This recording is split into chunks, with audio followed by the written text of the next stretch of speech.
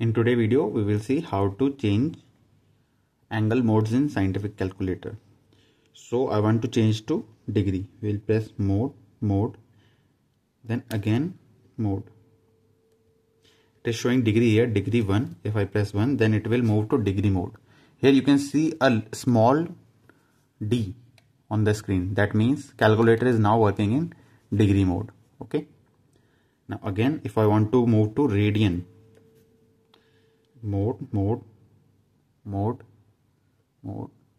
I have to press 2 now here you can see a small r on the screen if you are able to see that.